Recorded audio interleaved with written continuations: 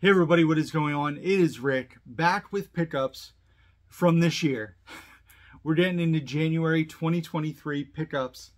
Uh, it is still May when I'm recording this, so still far behind.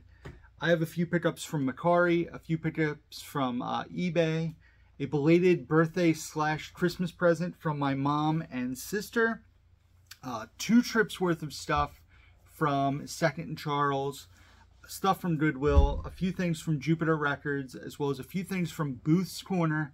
Uh, I'm sure you guys, if you watch Dave's Cinema Sickness, you'll you've seen the video where we go to Booth's Corner, um, where we get kicked out, or Dave gets asked to stop filming, and we proceed to leave after that. We didn't get kicked out. Um, and then Second Charles, uh, I'll, I'll talk about it when we get into it.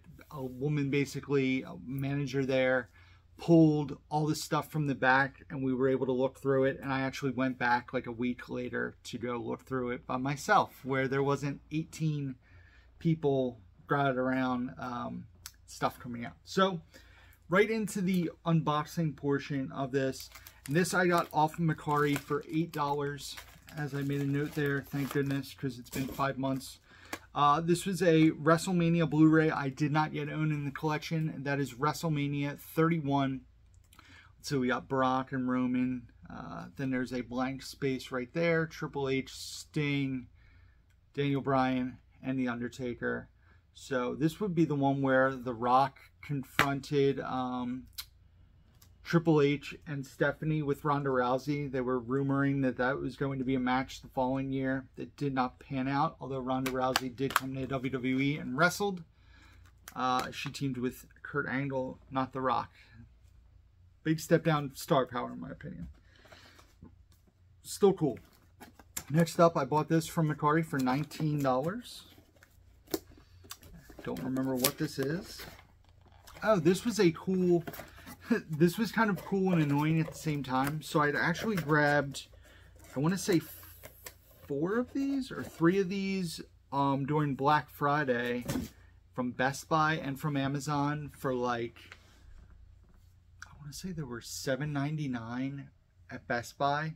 And then I grabbed this five film set for $19, one of which had never been released to 4K individually.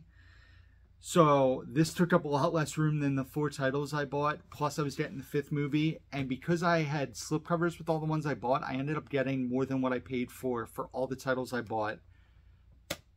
Which almost covered this. Like my profit almost covered this whole set. But is the Jack Ryan 5 film Blu-ray 4K collection. I got off Mercari with the slipcover, which I thought was cool and it features The Hunt for Red October, Patriot Games, Sum of All Fears, Clear and Present Danger, and Jack Ryan Shadow Recruit, which I don't think had been out on 4K until very recently individually. Uh, and it has the 4Ks of each, as well as the Blu-rays of each. So this is cool because I've never seen any of these movies except for the Sum of All Fears. So uh, for $19 to add a five film collection with slipcover on 4K, had to do that deal. So I did. I grabbed that one. Uh, we'll do, this is eBay. I grabbed all this from one seller because if you bought two or more things, you got like 25% off. Um, so the first thing I grabbed was actually a DVD. Uh, I did not pay attention. This was advertised as very good and not uh, like new. So I want to say a few of these discs, like one has some scratches. I want to say one of the other ones has some scratches but this is not on Blu-ray, and I really enjoy the WWE 24 um, series. So it is WWE 24 WrestleMania Monday, which is like one of the biggest shows of the year. The Monday after uh, WrestleMania, there's either somebody returning from an injury, a debut with the company, a big title match. So this is a three-disc DVD set um, with matches and events um, yeah, there's all sorts of things. It looks like this one is a documentary, and then this two and three are either matches or promos.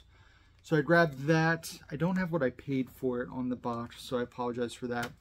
Uh, then WrestleMania 30 on Blu-ray, which I did not own. Uh, this was supposed to be, uh, this was right after CM Punk walked out of the company, if I remember correctly, because he was mad about what they had planned for him. It was the Authority was going strong, and I think he was going to wrestle Kane or Triple H at Mania. I can't remember. Uh, but end up the Yes movement happened. Daniel Bryan got his Uber push, uh, wrestled Batista and Triple H in the main event for the title. Not Triple H, uh, Batista and Randy Orton. So, yep, did not yet own this. I'm trying to get all the WrestleManias on Blu-ray that were released on Blu-ray, so I had to grab that. And perhaps the coolest uh, find was actually a sealed copy of this movie because I did not know this was on Blu-ray. Um, this has been on my to rewatch list for a while. As you guys know, I'm obsessed with stand-up comedy. Uh, the last year and a half, Bridget and I have gone to see a ton of stand-ups. I'm so glad we started doing it. We've seen my favorite Bert Kreischer a few times. We've seen Fortune Feimster. We've seen Whitney Cummings. We've been to the Comedy Store. Uh, we've seen Sal Vulcano. Um, I, am definitely forgetting, we saw Sarah Silverman. Uh, in the next six months, we have four more stand up shows lined up. So lots of stand up. I love stand up. And this was actually a theatrical movie um, of four stand ups. Um, I've never gotten to see any of these people live, one of which is no longer with us, but it is the original Kings of Comedy on Blu ray, brand new sealed uh, with Bernie Mac, who's no longer with us, Cedric the Entertainer, D.L. Hughley, and Steve Harvey. I remember this movie being hilarious, but I have not watched it in quite some time. Um, so yeah, I did not know this was a Blu-ray. Like even looking at this artwork, I, this is seeing it on eBay was the first time I've seen the artwork. So I, I don't know if it's an MOD, if it's just something that's very hard to come by, but had to grab that one. So that is it from my package portion of January pickups. Uh, no, it isn't. I lied. I got my my birthday slash Christmas uh, gift. Yep, enjoy your gift. Happy birthday. Better late than never from mom. So, very thoughtful is also from my sister Nicole. Um, I got this because only a few of these movies have been released on Blu-ray and I own some of them individually on DVD and I wanted this all in like one set so I don't have to worry about having it multiple times over in like different sets and whatnot. Um, but it is the Jackass 7 film collection. So this is Jackass, the movie unrated, and Jackass number 2 unrated, which never came out on Blu-ray. Uh, Jackass 2.5 unrated, which I don't think was on Blu-ray. Jackass 3 and 3.5 unrated, which I do own on Blu-ray. Uh, and then Bad Grandpa and Bad Grandpa 0.5 on blue uh, on everything on DVD, not Blu-ray. I thought for sure when Jackass Forever came out they would put out a Blu-ray set then I realized the first two movies were all shot with handheld cameras and the quality would not get improved on Blu-ray. So I figured why not own this all-in-one like nice compact set and be able to get rid of the excess cases and space. And my mom was kind enough to get this for me. I love Jackass movies. They still make me laugh out loud to the point where I'm crying. And this was awesome. Um, a 4K steelbook that I absolutely love the artwork for and um, I owned the Blu-ray Steelbook, which I want to say I've probably sold since getting this. Yep, it's no longer on my shelf, so I sold the Steelbook of this that I had. But this is the 4K Steelbook of Pulp Fiction, the Tarantino classic. Um, I had to ask, this was on my wish list as soon as it got announced and I saw the artwork. So Pulp Fiction, the 4K Steelbook. So thank you to my mom and sister for grabbing these for me for my birthday slash Christmas. It is much appreciated. I love you guys. So that is it for packages. Now we're going to dive into, I'm going to move this because I feel like I'm going to knock something over. Um, so I did get two things when we went to um, Booth's Corner. I actually know a guy who has a stand there and he had all sorts of movies for a dollar and I haven't even looked the last couple times because it was the same stuff, but he got all new things in. And these two I had to get.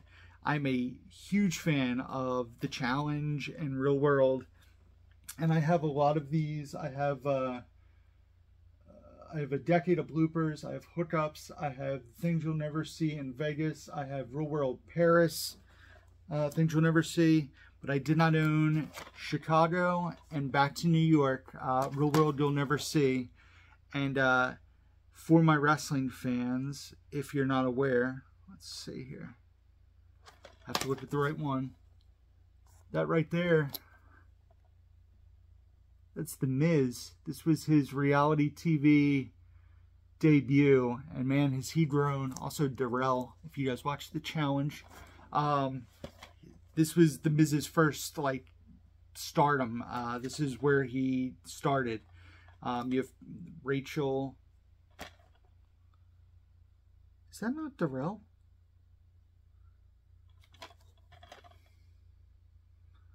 I thought that was Darrell, and it's not Darrell, but it looks like Darrell so much in that picture. I apologize. That is not Darrell. Um, it says follow Kevin, Lori, Mike Coral, Nicole, Malik, Rachel, and The Miz. So, not Darrell. Definitely looks like Darrell. If you guys watch the challenge, that guy looks like Darrell through and through. Uh, and then Chicago features Theo, Tonya, Cara, Kyle, Carrie, Aneesa, a lot of people were on the challenge. But whenever I come across these, they're usually horribly scratched. If I remember correctly, these were like some fingerprints, but both in amazing condition, and they were only a buck a piece. Yeah, they're both super great condition. So I had to add those to a collection. Love the real world. And uh, the stuff you never saw they I think they used to call it the S you never saw, but had to grab these when I saw them. I beat Dave to them luckily because I think he needed them, but those were going to my collection. Next we went to Jupiter Records uh, that same day. And I only grabbed a few things here, and this was all from the dollar room that they have. I love the dollar room there. That's where I spend most of my time. Um, especially like their CDs in there are great. They restock their movies all the time in there. So I grabbed these three things. We got two CDs and a DVD. First CD is The Toadies, this being Rubberneck. Uh, they had a big song when I was in like elementary school, Possum Kingdom. Um, so I've never heard any of their other music, full disclosure.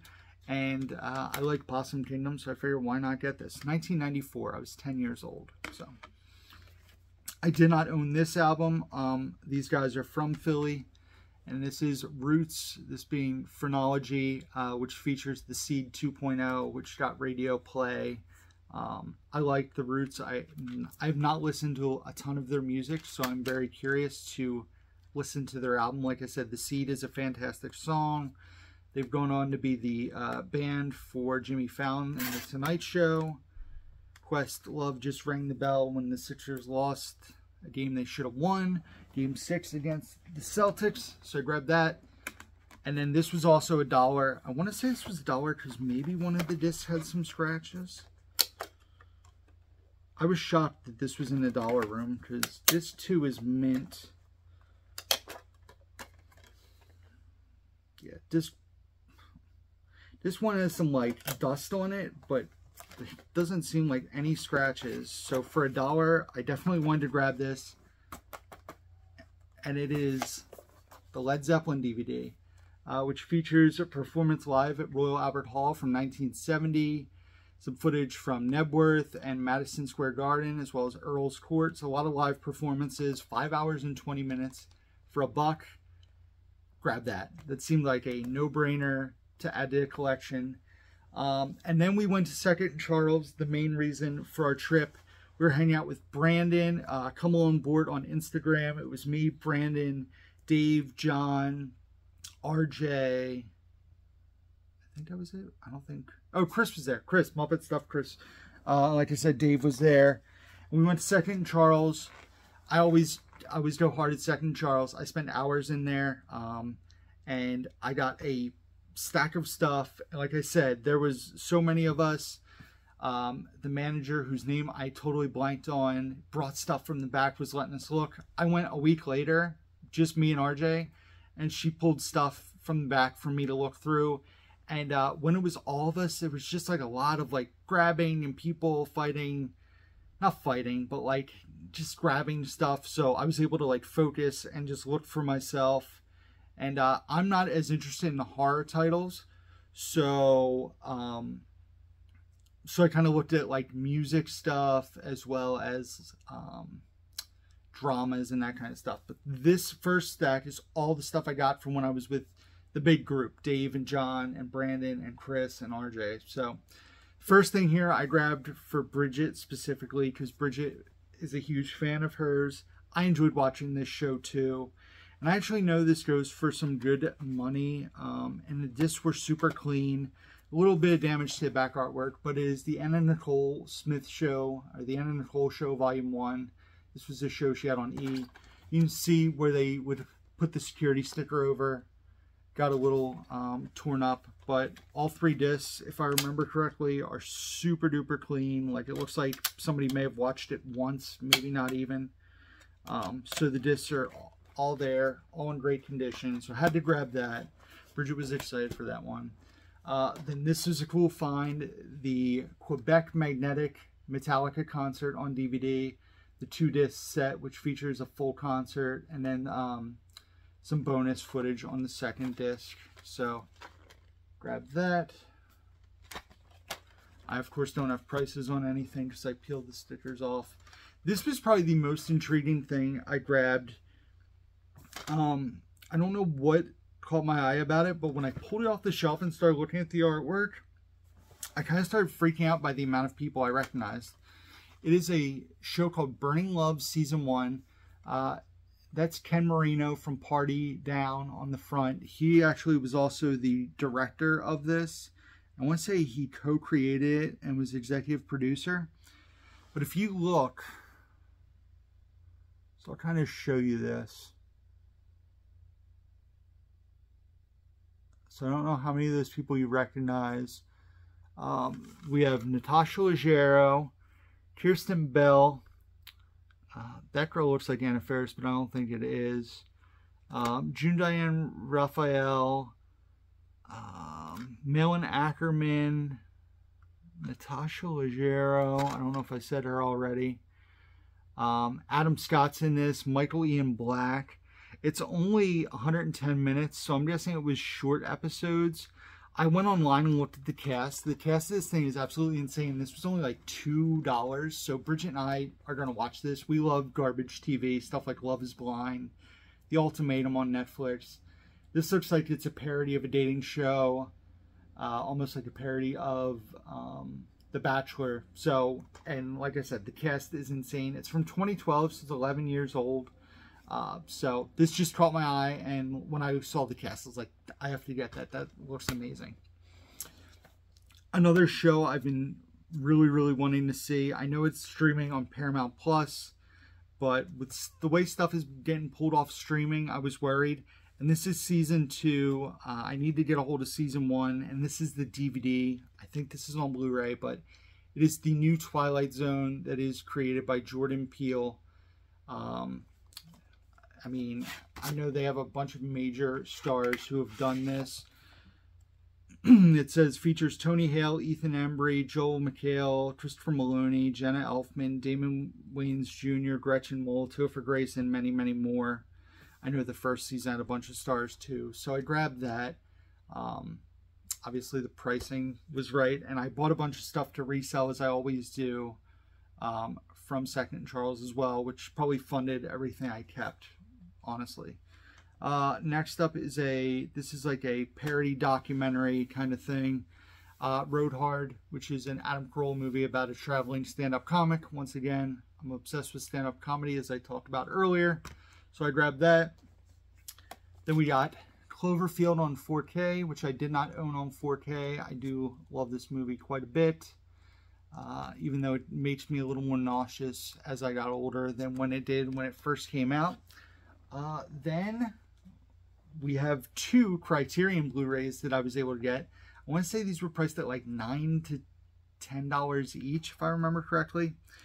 First up is Stanley Kubrick film I've never seen, and that is Barry Lyndon.